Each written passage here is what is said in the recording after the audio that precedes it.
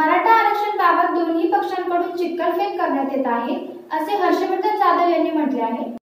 मुद्दा हा गंभीर स्वरूप धारण करत चाललेला आहे.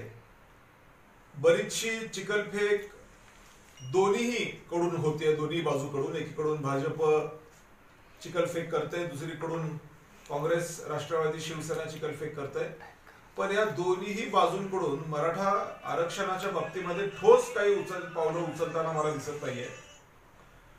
याच्यामध्ये जर काही करणं गरजेचं असेल तर मुळात केंद्र सरकारमध्ये पार्लमेंटमध्ये आपल्याला एक बिल आणावं लागणार आहे भारतीय जनता पक्षाकडून कारण तीनशेच्या वर खासदार त्यांचे तिथं आहेत. ते बिल सहज आणू शकतात सत्ताधारी पक्षाचा प्रस्ताव आणू शकतात.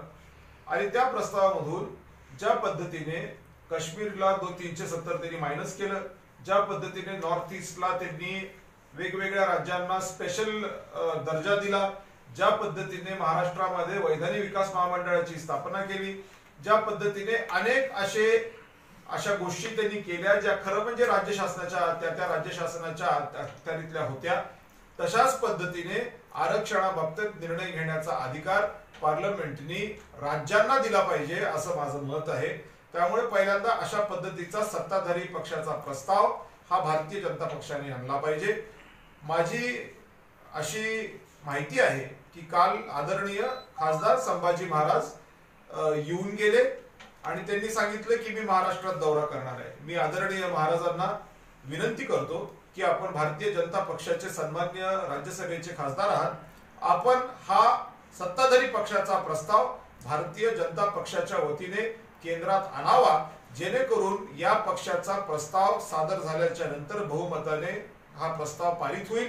आणि हा प्रस्ताव पारित झाल्याच्यानंतर ज्या वेळेला आरक्षणाबाबतीतला निर्णय हा राज्यांना दिला जाईल त्यावेळेला सुप्रीम कोर्टामध्ये अशा पद्धतीचे निर्णयांना चॅलेंज होऊ शकणार नाही. आणि चॅलेंज जरी झालं तरी कायदाच मुळात बदललेला असल्यामुळे सुप्रीम कोर्टाला पर्याय राहणार नाही नवीन कायद्याच्या अनुषंगाने निर्णय देण्याच्यासाठी. त्यामुळे आदरणीय महाराजांना माझी विनंती आहे की भारतीय जनता पक्षाच्या वतीने आपण सत्ताधारी पक्षाचा प्रस्ताव येणाऱ्या अधिवेशनामध्ये लोकसभेमध्ये आणावा.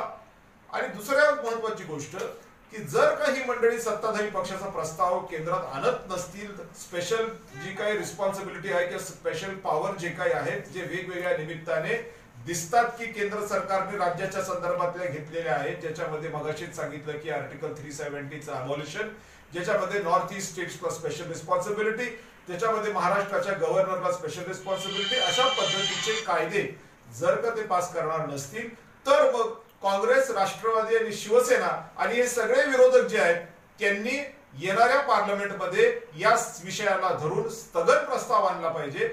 पार्लमेंट सुरू होत झाल्या झाल्या स्थगन प्रस्ताव जर आला तर स्थगन प्रस्तावामध्ये हे मुद्दा मांडू शकतात की सत्ताधारी पक्ष जर काही करणार नसेल तर आम्ही ह्या हाऊसला चालवणार नाही जोपर्यंत या आरक्षणाच्या मुद्द्यावर सत्ताधारी पक्ष आणि विरोधी पक्ष एकमत करत नाहीत. आणि मग अशा परिस्थितीमध्ये भाषण होऊ शकतात. राहुल गांधींचं भाषण होऊ शकतं. सुप्रियाताई सुळेंचं भाषण होऊ शकतं. आदरणीय आपल्या सर्वांचे ज्येष्ठ आदरणीय पवार साहेब यांचं भाषण होऊ शकतं. आणि या भाषणाच्या माध्यमातून ऍडजर्मेंट ज्याला आपण इंग्रजीत म्हणतो ऍडजर्मेंट मोशन असं ऍडजर्मेंट मोशन म्हणजे स्थगन प्रस्ताव आल्याच्यानंतर भारतीय जनता पक्षाला लोकांच्या समोर नाक दाखवायला जागा राहणार नाही. कारण त्यांनी त्या ऍडजस्टमेंट मोशनला विरोध केला असं होईल आणि त्यामुळे या तमाम आरक्षणांना त्यांनी विरोध केला असा त्याचा अर्थ निघतो. त्यामुळे येणाऱ्या निवडणुकीमध्ये ज्यांच्या ज्यांच्या आरक्षणाला भारतीय जनता पक्षाने विरोध केलेला आहे त्यांचे बारा वाजवल्याशिवाय ह्या जाती थांबणार नाहीयेत हे मात्र त्या ठिकाणी निश्चित होणार आहे. त्यामुळे एकंदरीत या सगळ्या गोष्टींचा परिपाक हा आरक्षण मिळण्याच्या दृष्टिकोनातून अतिशय सकारात्मक होण्याची चिन्ह निर्माण होणार आहे. त्यामुळे पहिली गोष्ट तर भारतीय जनता पक्षाने त्या सत्ताधारी पक्षाचा प्रस्ताव आणावा. नाही तर विरोधी पक्षाने हा स्थगन प्रस्ताव पार्लमेंटमध्ये आणावा. आणि हे दोघही लोक दोन्ही बाजू जर हे करणार नसतील आणि नुसतं एकच लावून धरणार असतील की हेनी दिलं नाही आणि त्यांनी दिलं नाही आम्ही देतो म्हणून तो देत नव्हता तर कुठेतरी जनतेच्या डोळ्यामध्ये धुळपेक आहे. आणि या धुळपेकीचा मी मनापासून विरोध करतो. मी विधानसभेचा राजीनामा दिला होता कारण मराठा समाजाची मुलं आत्महत्या करायला लागली होती. काकासाहेब शिंदेने आत्महत्या केली. जवळपास पंचेचाळीस तरुणांनी आत्महत्या केली. ही आत्महत्याची शृंखला थांबावी म्हणून कुठेतरी राजकीय गोष्टींना वळण आलं पाहिजे. म्हणून मी त्या ठिकाणी राजीनामा दिलेला होता. आणि त्यानंतर जर पुन्हा अशीच परिस्थिती निर्माण होत असेल दुर्दैवाने मी निवडून आलो नाही. जर निवडून आलो असतो तर पुन्हा एकदा मी राजीनामा फेकला असता म्हटलं असतो की मला नको आहे विधानसभेचं पद किंवा लोकसभेचं पद.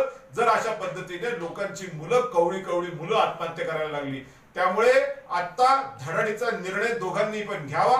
एक तर भारतीय जनता पक्षाने आदरणीय महाराज संभाजी महाराज यांनी निर्णय घ्यावा. सत्ताधारी पक्षाचा प्रस्ताव आणण्यासाठी भारतीय जनता पक्षाला संभाजी महाराजांनी भाग पाडावं. आणि जर ते होणारच नसेल तर मग हे महाराष्ट्रातलं सरकार जे म्हणतंय की आता आम्ही काय करणार यांनी ऍडजस्टमेंट मोशन स्थगन प्रस्ताव आणावा. आणि या मराठा समाजालाच काय? तर पटेल समाजाला पाटीदार समाजाला गुजर समाजाला जाट समाजाला त्या ठिकाणी जर का परिस्थिती असेल तर त्यामुळे त्या ठिकाणी त्यांना रिझर्वेशन दिलं पाहिजे. ही भूमिका माझी आहे.